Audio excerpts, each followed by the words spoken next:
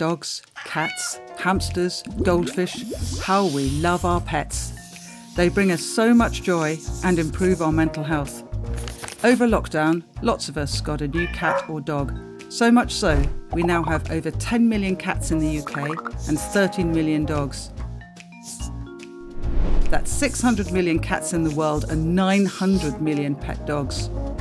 All of which is not great news for the environment.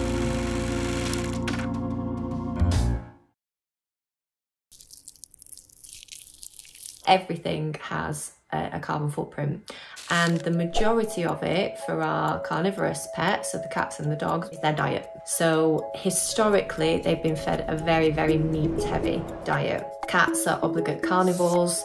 Very, very difficult to get cats to incorporate vegetables and plant-based foods into their diet.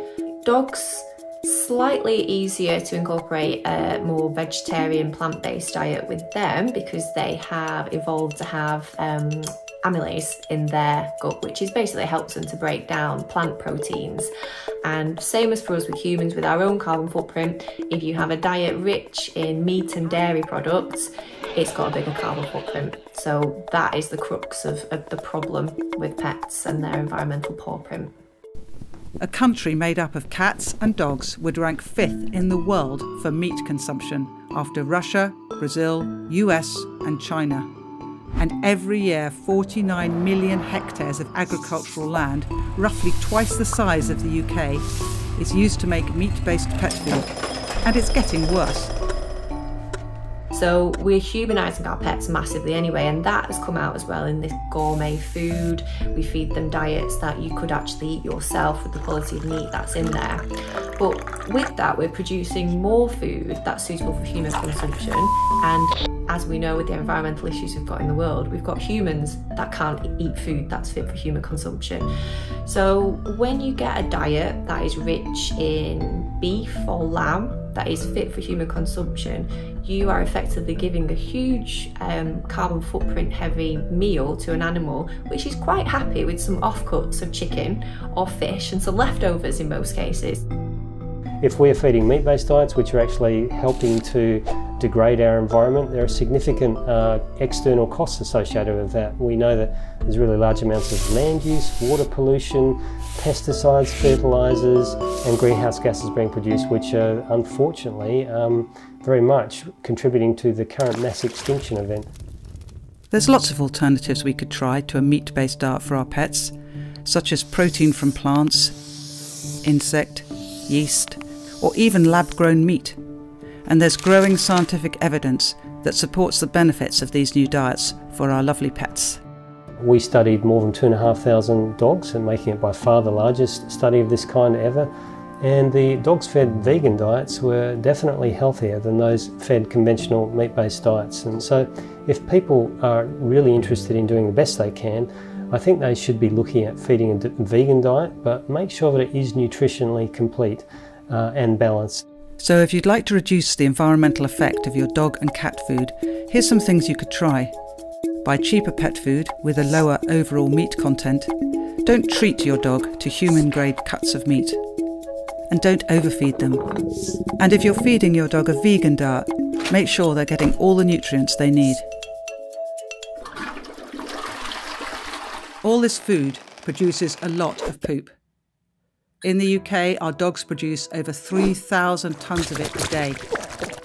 That's equivalent to the weight of 250 double decker buses every day. This is a potential disaster for both the environment and human health. When left on the ground, dog poo eventually breaks down and washes into our water supply, polluting our rivers and streams. It also carries bacteria, parasites, and other diseases that can be transmitted to humans and other animals. So it's really important to make sure you pick up your dog poo when you're taking your dog out for a walk, even if it's in the middle of the countryside. Some of the parasites that cycle through dogs can also cycle through livestock. Um, and if you don't pick up the dog's poo, you can have a, a more of those parasites, which can then adversely affect the cattle, even if it doesn't adversely affect your dog. Let's look at how we can try and get the most appropriate way of disposing of that. So you could compost your dog poo, keeping it away from food producing plants and children. You could make sure that the poo bags that you're using are made from cornstarch or plant-based plastics and always make sure that they're disposed of properly. There's some really exciting in innovations coming out around dog waste. We've even seen some street lights that you can put your dog poo into a generator underneath and they can fire the street lights. So these amazing things are just going to keep coming and coming. While rabbits and guinea pigs are happy munching the grass, our cats are natural born killers. In the UK, it's estimated that free roaming cats are responsible for 275 million prey animals being killed each year, which is, is a huge number, and that will have an effect on our biodiversity levels here in the UK. And so, just by having sort of 10 to 15 minutes a day of play with your cat, um, you can um, reduce the impacts of, of that predatory behaviour when the cats are out, because this is a natural behaviour that they need to exhibit in some form. So, if you want to keep a pet, what's the best one to choose with the smallest environmental footprint?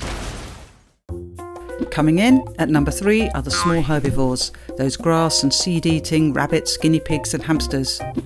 At number two, spiders, particularly the tarantula. And at number one, the most sustainable pet of all is the tortoise. Just make sure you've factored in that they can live for over 50 years. Whatever you choose to do, it's not all or nothing. Any step you can take will contribute to the greater good. Small changes can add up to a greater whole. Thank you for watching the Skylark Originals. We hope you've enjoyed it. We'd love to make some more, so please like or subscribe below.